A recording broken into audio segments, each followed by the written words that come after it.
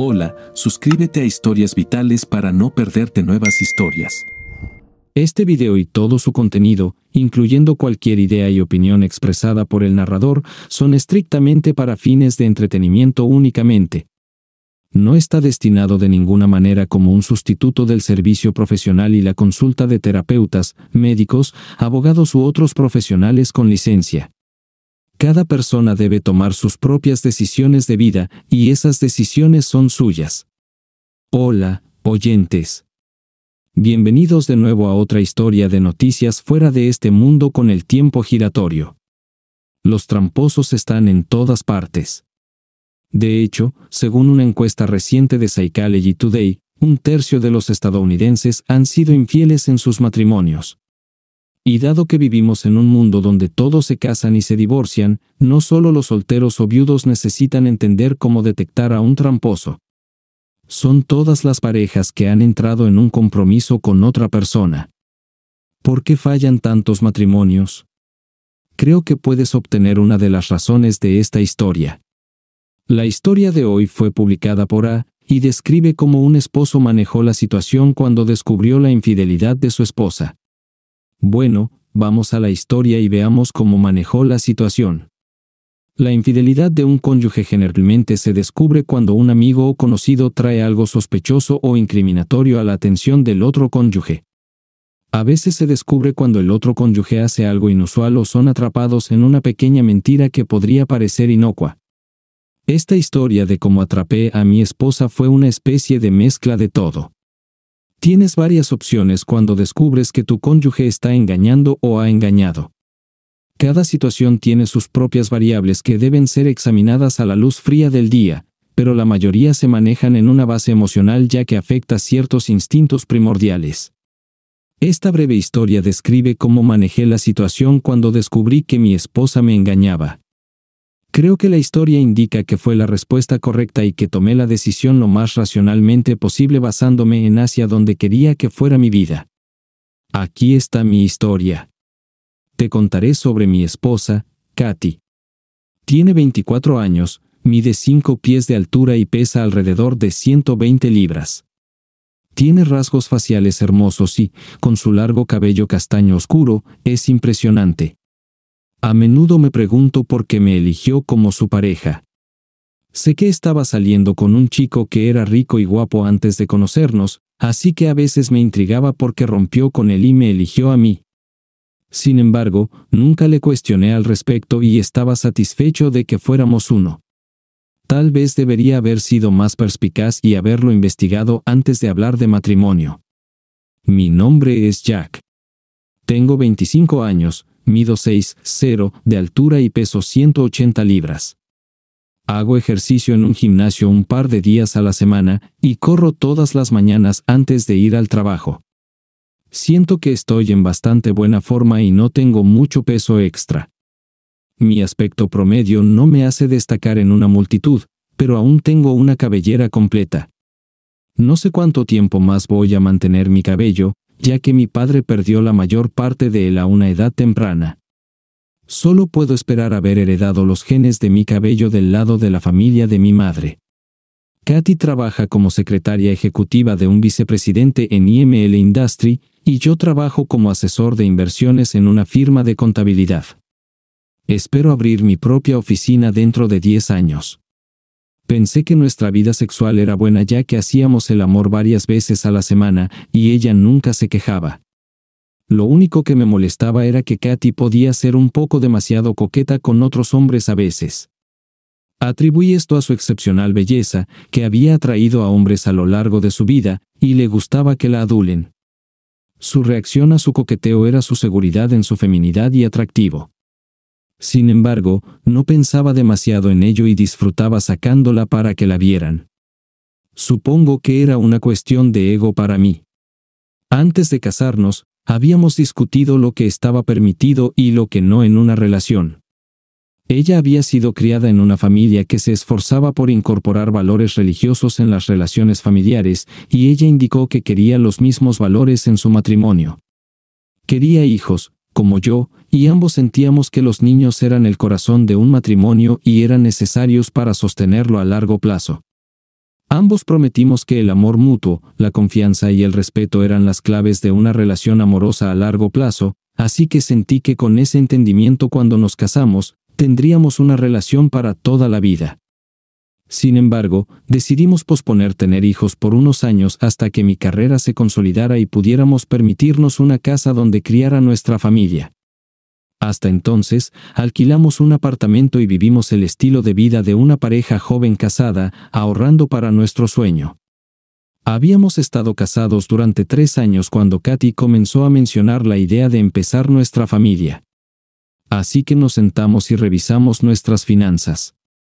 A pesar de que los precios de la vivienda habían aumentado, ambos sentíamos que, debido a las bajas tasas de interés, estaríamos en posición de hacer un pago inicial para comprar una casa en unos meses. Por lo tanto, fijamos una fecha en la que ella pudiera dejar de tomar la píldora anticonceptiva. Hicimos el amor esa noche de forma hermosa, ya que ambos estábamos emocionados por el futuro y nuestro deseo de tener hijos. Fue solo unas semanas más tarde que escuché algunas palabras inquietantes sobre una indiscreción de Katy con otro hombre. Estaba en la máquina de café de la oficina sirviéndome una taza cuando Fred Haskin de Relaciones con Clientes se acercó. Hola, Jack, ¿cómo van las cosas contigo? Van bien, hasta donde yo sé, Fred, respondí riendo. Sabes que paso bastante tiempo en actividades sociales con clientes y ayer estaba en el Marriott para almorzar. No quiero ser portador de malas noticias, pero creo que vi a tu esposa saliendo de los ascensores agarrada de algún tipo alrededor de la 1.30. Puede que no signifique nada, pero pensé que debería saberlo. Esos ascensores solo van a las habitaciones. Me quedé momentáneamente aturdido e indeciso antes de responder, gracias, Fred. Estoy seguro de que no fue nada, pero le preguntaré a Katy al respecto cuando llegue a casa esta noche. Espero que lo que vi fuera perfectamente inocente, Jack, pero pensé que necesitaba decírtelo. Espero que tal vez no fuera Katy, sino solo alguien parecido.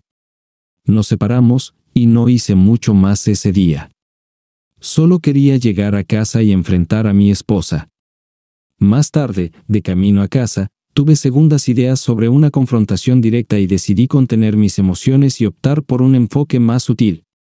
En caso de que Fred hubiera confundido a alguna otra mujer con Katy o hubiera una explicación inocente. Por lo general, llego a casa un poco antes que Katy y comienzo a cocinar. Después de cambiarse, cuando ella llega, se cambia, y tomamos una copa de vino antes de cenar. Este es el momento en el que podemos relajarnos juntos y discutir las actividades del día. Pensé que este sería el momento apropiado para ver si había algo en lo que Fred había visto en el Marriott. Cuando Katy llegó y me besó en la mejilla y subió a cambiarse, conseguí un par de copas de su vino favorito y las llevé a la sala de estar donde solíamos relajarnos en nuestro pequeño apartamento. Después de unos minutos, Katy entró y se sentó frente a mí, cogiendo su copa de vino.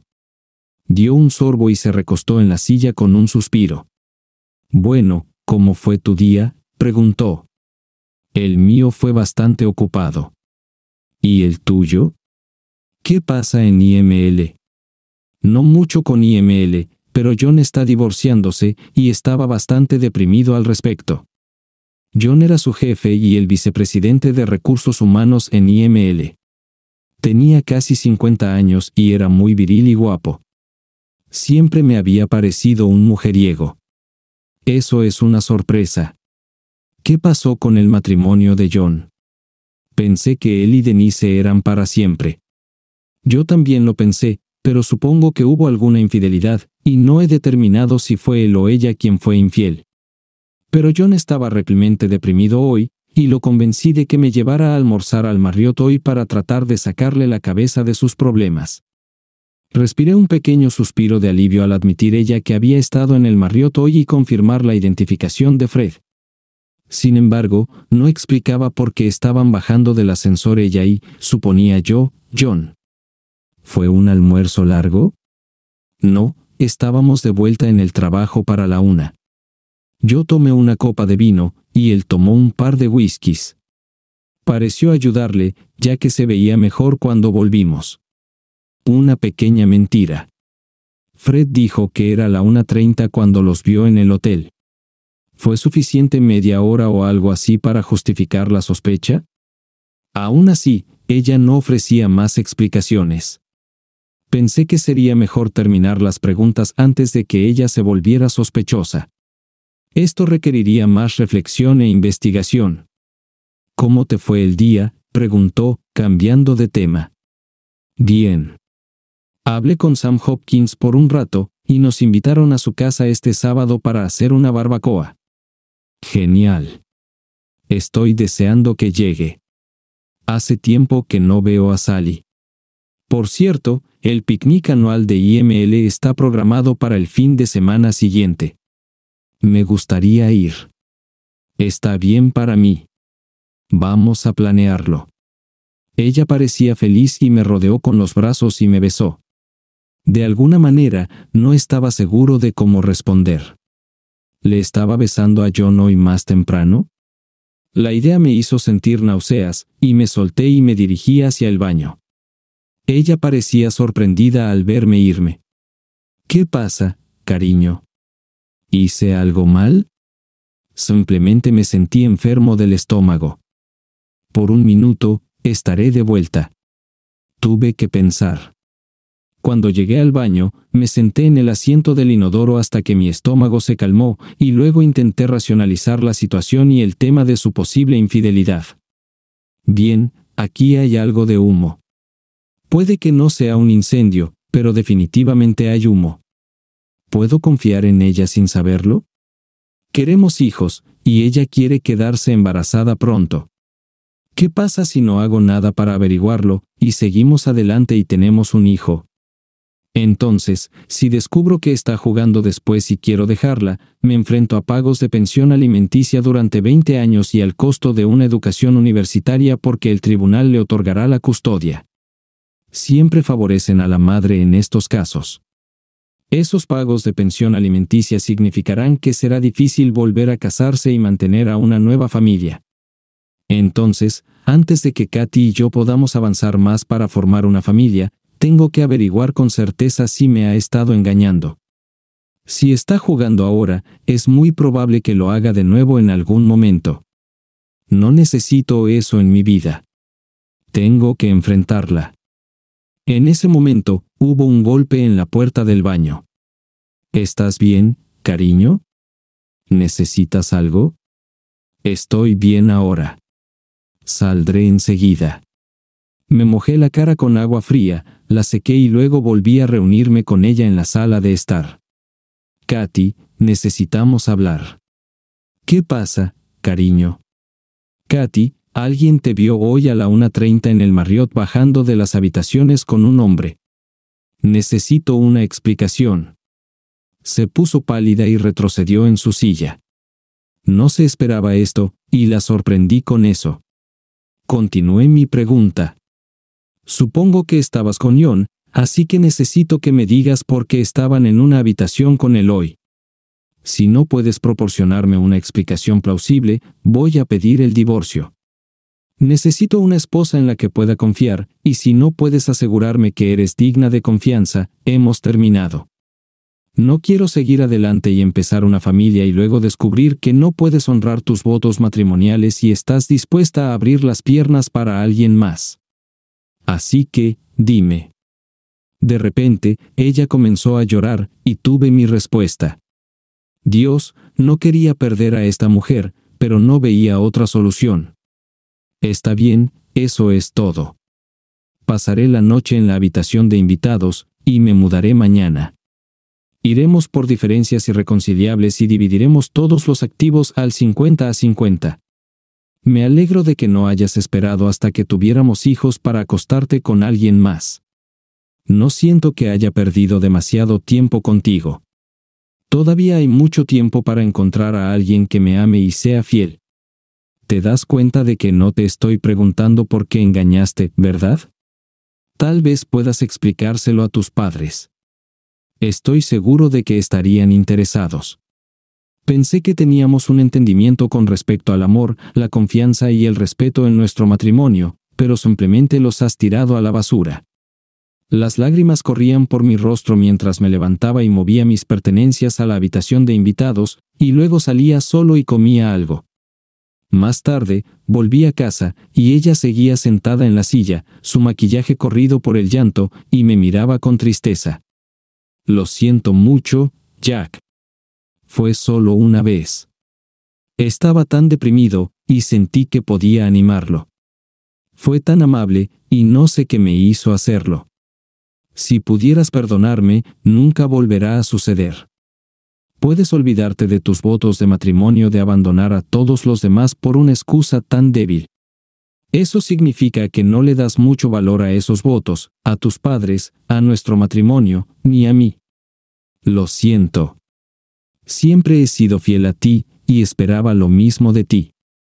Todavía te amo, y espero que con el tiempo eso se desvanezca, pero ya no puedo confiar en ti, y he perdido mi respeto por ti. Este matrimonio tiene que terminar ahora mismo. Llamaré a un abogado por la mañana, y a partir de ahí veremos.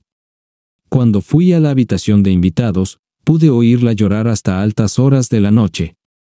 Tampoco dormí muy bien esa noche. Me levanté temprano, me duché, me vestí y salí a desayunar. Al llegar al trabajo, llamé y concerté una cita con un abogado de divorcios y luego tomé el resto del día libre para ocuparme de tarjetas de crédito, cuentas bancarias, testamentos y pólizas de seguro. También hice que mi nombre fuera eliminado del contrato de alquiler de nuestro apartamento. Después de reunirme con el abogado, dijo que tendría los papeles redactados y listos para firmar en un par de días. Luego, salí a buscar un apartamento. Encontré un bonito apartamento de eficiencia de un dormitorio a poca distancia de mi trabajo y di los depósitos requeridos para apartarlo. Después, regresé a nuestro apartamento para empezar a hacer las maletas. Katy y yo nos divorciamos en tres meses. Ella no lo impugnó. Más tarde encontré a una mujer que estaba tan ansiosa como yo por mantenerse comprometida y fiel. La amo sin reservas, y ella devuelve mi amor apasionadamente. Después de cinco años, tuvimos dos hijos que están siendo criados con fuertes valores y lealtad y respeto por la familia y entre sí. Katy volvió a casarse un año después del divorcio y se divorció nuevamente dentro de dos años. Simplemente no pudo mantener las piernas juntas, como temía, sus padres ya no se comunican con ella. Historia 2. Su nombre era Janice, y pensé que estaba enamorado de ella casi desde el momento en que la conocí hace dos años. Desde nuestra primera cita en adelante, sentí que ella era la persona con la que quería envejecer. Mirando hacia atrás ahora, supongo que era solo lujuria lo que mantenía nuestra relación unida, combinada con su actitud salvaje y sin preocupaciones que encontraba cautivadora. Me habían educado en un hogar bastante conservador, y ella era como una luz brillante mientras yo era la polilla.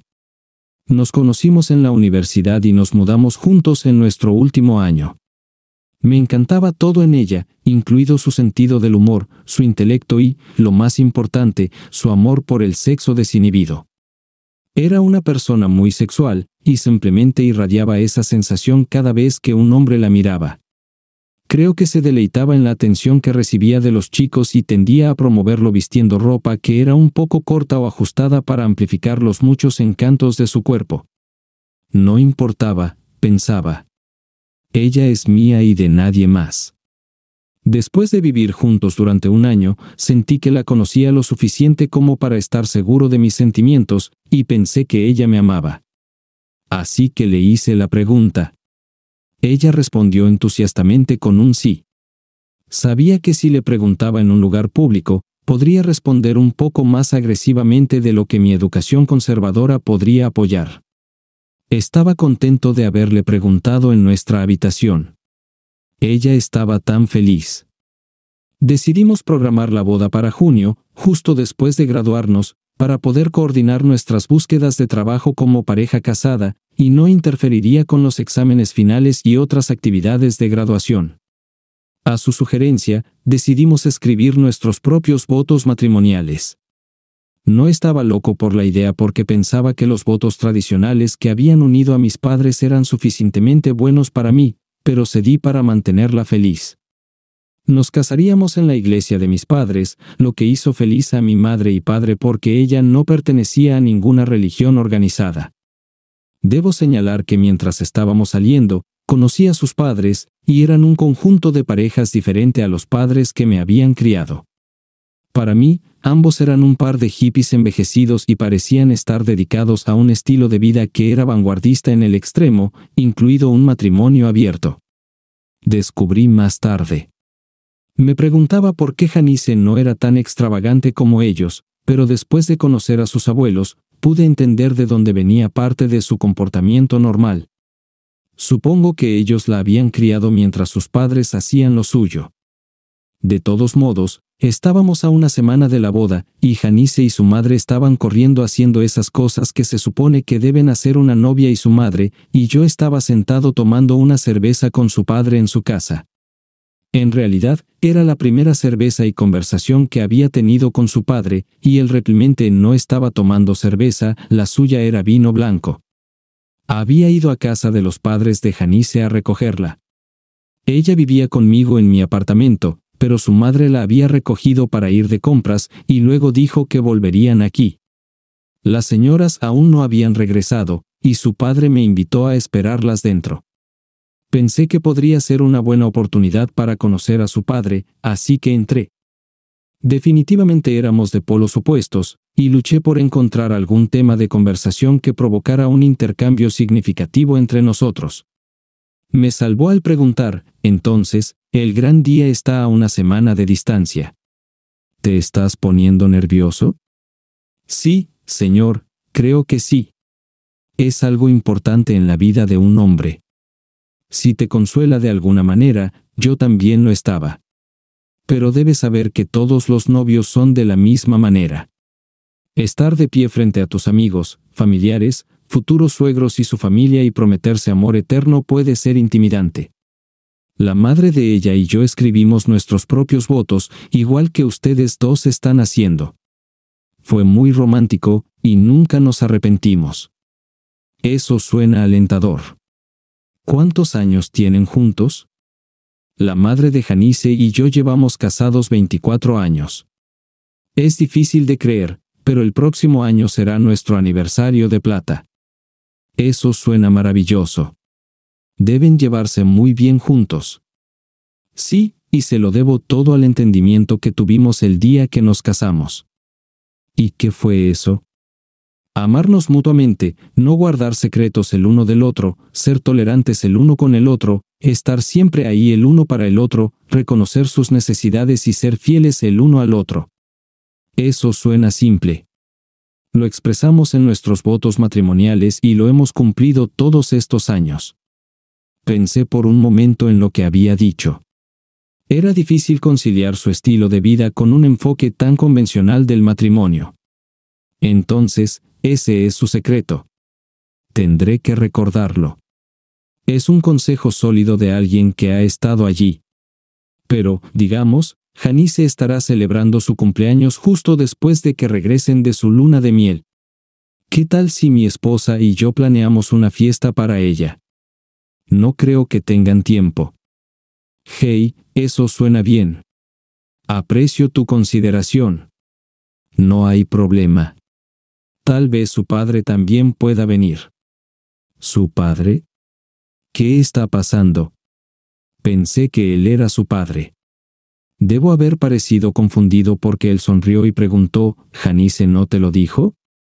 No soy su padre biológico. Su nombre es Stamburus, y es vendedor de formularios comerciales Norris. Pasa periódicamente y se detiene a saludar te agradará, y estoy seguro de que le gustaría conocerte ya que te vas a casar con su hija. Sí, eso sería genial, respondí nerviosamente. Estoy deseando conocerlo. Justo en ese momento, Janice y su madre llegaron cargadas de bolsas de mercancía con el logo de la tienda departamental local estampado en cada bolsa. Allí, Janice, exclamó mientras dejaba su carga en el sofá. Eso se encargará de los regalos para las damas de honor y algunas otras cosas, dijo mientras se acercaba a sentarse en mi regazo. Nos besamos tiernamente, y luego ella preguntó, ¿Qué han estado haciendo tú y papá mientras esperaban? Le estaba contando lo que todo novio debería saber, se ofreció su padre. ¿Qué aprendiste? preguntó con una risita. Espero que no algo travieso. Aprendí porque tu madre y tu padre han tenido un matrimonio tan amoroso, respondí. Quería preguntarle sobre su padre biológico, pero decidí esperar hasta que estuviéramos a solas. Bueno, supongo que necesitamos adoptar lo mismo para nuestro matrimonio. He estado hablando con mamá, y como ellos escribieron sus propios votos matrimoniales, deberíamos usar los suyos para nuestra boda. ¿Ya has escrito algo? Bueno, empecé, pero aún los estoy trabajando. No mencioné que estaba usando un sitio web de Internet para plagiarlos. ¿Qué te parece usar sus votos para nosotros? Funcionaron para ellos. Estaba un poco aprensivo, pero decidí seguir adelante con ella por ahora hasta que pudiera leer cuáles eran los votos de su padre. Las reglas del matrimonio que me expresó me parecieron buenas, así que los votos que hizo en su boda deberían estar bien pero no estaba listo para hacer un compromiso todavía. Claro, consígueme una copia y los miraré, dije. Ella se levantó de mi regazo y corrió hacia el dormitorio donde había desaparecido su madre. En pocos minutos, regresó con una hoja de papel que me entregó. Aquí tienes, adelante y léelos, dijo. Eché un vistazo a la página y pregunté, ¿dónde están los tuyos? Los tengo, y los escucharás en nuestra boda, cariño, dijo. Gruní molesto pero doblé el papel y lo guardé en el bolsillo para leerlo después. ¿Estás listo para irnos? pregunté. Sí, ayúdame a cargar estas cosas en el coche y podemos irnos. Más tarde esa noche en mi apartamento, saqué el papel de mi bolsillo y lo leí. Te tomo como mi esposa, amiga y amante, para amarte y respetarte en la salud y la enfermedad, y en los momentos de alegría y tristeza, para ser fiel a ti y valorarte y envejecer contigo. En tiempos de fracaso y prueba, prometo nutrir nuestro amor y mostrar tolerancia y paciencia y reconocer tus necesidades y deseos a lo largo de nuestra vida juntos. También prometo nutrir y apoyar a los hijos de este matrimonio hasta que nos dejen en su madurez. Pensé, bueno, eso no está tan mal. Puedo vivir con eso. Pero me preguntaba acerca de sus necesidades y deseos. Parece estar cerca de los votos tradicionales, así que decidí usarlo y se lo dije. Ella estaba estasiada con mi aquiescencia y me dijo mientras me tomaba de la mano y me llevaba al dormitorio. En ese momento, no podía entender por qué estaba tan feliz. El día de nuestra boda, estaba emocionado y aprensivo a medida que se acercaba la hora de la ceremonia. Mi padrino y mejor amigo Jeff me ayudaron a prepararme y me llevaron a la iglesia. Estaba cerca de ser un caso perdido y me alegré de que él estuviera allí para apoyarme. Él y yo habíamos sido amigos desde la escuela primaria y siempre habíamos estado allí el uno para el otro. Pensé que podía confiar en él con mi vida. El sudor me corría por la espalda debajo de la chaqueta de smoking, y podía sentirlo empezar a bajar por la espalda justo cuando comenzaba la marcha nupcial, y me volví para mirar a mi novia mientras ella empezaba a caminar hacia mí por el pasillo. Creo que tenía una sonrisa en mi rostro mientras la miraba en su hermoso vestido blanco con el brazo de su padre. No podía ver su rostro detrás del velo, pero sabía que también estaría sonriendo. Cuando el pastor comenzó el servicio de matrimonio, creo que estaba en una neblina, apenas prestando atención a lo que decía. Solo tenía que recordar mi señal que habíamos establecido la noche anterior en el ensayo de la boda, y pensé que podría lograrlo y salir de aquí con mi novia. Luego me di cuenta de que el pastor le había dado a Janice su señal cuando comenzó a leer sus votos. Todavía estaba en una neblina, pero de alguna manera estaba prestando atención a sus palabras mientras leía desde una pequeña tarjeta en su mano, yo, Janice, te tomo como mi esposo legítimamente casado. Te amaré y te cuidaré toda nuestra vida de casados. Estaré contigo a través de todas las pruebas y tribulaciones de nuestras vidas, en la salud y la enfermedad, en los buenos tiempos y los malos. Y te respetaré y honraré como mi esposo a partir de este día en adelante. Estaré comprometida con tu bienestar y felicidad, y siempre estaré ahí para ti. Esto lo juro ante el Todopoderoso Dios. Estaba desconcertado por sus palabras cuando el pastor preguntó si alguien conocía alguna razón por la cual no deberíamos casarnos. Entonces me di cuenta. Ella nunca había prometido ser fiel a mí. La mayor parte de sus palabras eran tonterías sentimentales que pretendían sonar bien pero no prometían lo más importante de todo, su fidelidad hacia mí en nuestro matrimonio. De repente sentí que mi mano se levantaba, si lo hice conscientemente o por impulso nunca lo sabré, pero se levantó. El pastor me miró con sorpresa, y no pude ver la cara de Janice a través del velo, pero ella debe haber visto mi mano levantarse porque escuché su suspiro. También hubo mucho murmullo en la iglesia detrás de nosotros. ¿Tienes alguna pregunta o alguna otra razón para levantar la mano, hijo? preguntó el pastor. Sí, señor. Necesito hablar con Janice en privado antes de continuar con la ceremonia, si eso está bien. Por supuesto. Vengan conmigo, nos dijo mientras tomaba la mano de Janice y lo seguía. Los murmullos detrás de nosotros se estaban convirtiendo en un leve rugido mientras salíamos por una puerta lateral hacia el estudio del pastor. Al abrir la puerta, nos hizo señas para que entráramos y preguntó, ¿Quieren que los ayude? No, gracias, Padre. Solo necesito hablar con Janice a solas por unos minutos. Tómate tu tiempo. Tranquilizaré a tu familia y amigos y esperaremos hasta que estén listos antes de continuar con la ceremonia. Con eso, cerró la puerta y nos dejó solos. Me volteé hacia Janice y levanté su velo. ¿Qué pasa, Jim? ¿Por qué detuviste la boda? Janice, tengo un problema y necesito ayuda de ti para resolverlo. Puede que nunca te lo haya expresado antes porque pensé que pensabas sobre el matrimonio igual que yo. Pero debe haber algo mal en mi pensamiento. Cuando pronunciaste tus votos, no prometiste ser fiel a mí, y eso es algo que nuestro matrimonio requiere antes de que pueda decir sí. ¿Hay alguna razón por la que no tuvieras esa promesa en tus votos? Todo lo que quiero es un matrimonio como el de mi mamá y mi papá. Los votos que pronunciamos son los mismos votos que ellos tenían, así que pensé que también funcionarían para nosotros. ¿Qué es lo que quieres de su matrimonio? Yo prometí ser fiel a ti cuando pronuncié mis votos, pero ¿por qué no puedes hacer lo mismo? ¿Tu madre siempre fue fiel a tu padre? Me miró tristemente mientras respondía, tenía amigos hombres, pero papá estaba feliz con sus aventuras ocasionales. No hay nada de malo en eso mientras seas feliz. Prometo siempre volver a casa contigo y darte todo el amor que necesites. Dime, Janice, dije, empezando a enojarme, tu padre dijo que no era tu padre biológico. ¿Fuiste el resultado de una de sus aventuras? Entonces rompió a llorar y de repente supe que había terminado. Yo, yo nunca podría ser su esposo feliz. Janice, ¿Has sido fiel a mí desde que nos comprometimos? Me miró con lágrimas corriendo por su rostro, arruinando su máscara de pestañas y maquillaje. Lo siento. No pensé que te importara. De repente me estaba enojando. Lo que había comenzado como una conversación tranquila y tratando de establecer una razón para continuar con la ceremonia se estaba convirtiendo en un episodio. No podía creer lo que estaba escuchando, y lo que estaba escuchando me estaba destrozando por completo. La mujer que iba a ser mi novia y compañera de vida era una prostituta.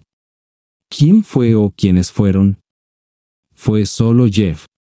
Es tu mejor amigo, y pensé que estaría bien hacerlo con él.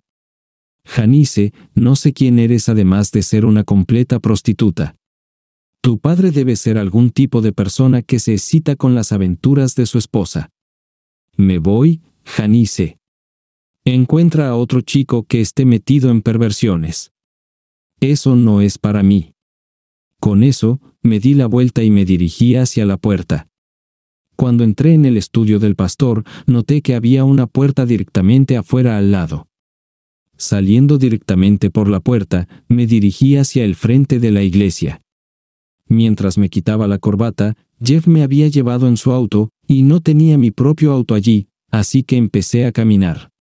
Pasé junto a la limusina que nos esperaba y vi al conductor mirarme de manera extraña y sonreír mientras pasaba. Era una caminata de dos millas hasta mi apartamento, pero de repente me sentí libre y mi estado de ánimo se aligeró. Estaba a unas cuadras de mi apartamento cuando un auto se acercó rugiendo a mi lado y Jeff comenzó a salir. Cuando puso el pie en el suelo, le di una patada a la puerta abierta del coche. Maldita, le grité.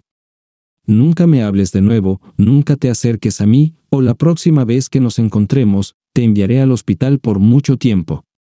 Continué hacia mi apartamento, y antes de cambiarme de ropa, comencé a empacar la ropa y pertenencias de Janice y las coloqué afuera en el pasillo. Mi celular estaba sonando, y simplemente lo apagué. Después de cambiarme a jeans y una camiseta, agarré una cerveza y me senté esperando lo que sabía que se dirigía hacia mí. Sus padres intentaron demandarme por dejarles con los gastos de la boda y la recepción, pero mi abogado argumentó que su hija se había representado mal ante mí, y yo estaba perfectamente en mi derecho de echarme atrás. El juez estuvo de acuerdo. Nunca volví a ver a Jeff después de que se recuperara de su accidente, dejó la ciudad. Veo a Janice de vez en cuando, pero no hablamos ni nos reconocemos mutuamente. Oí que se había casado, y me preguntaba qué tipo de hombre sería. Estoy casado con una mujer maravillosa, y tenemos dos hijos buenos. Por supuesto, antes de casarnos, tuvimos una larga conversación sobre la fidelidad y que debíamos esperar el uno del otro en nuestra vida matrimonial. Hasta ahora, Estamos tan enamorados como el día que nos casamos, y confío en ella totalmente. La vida puede ser buena.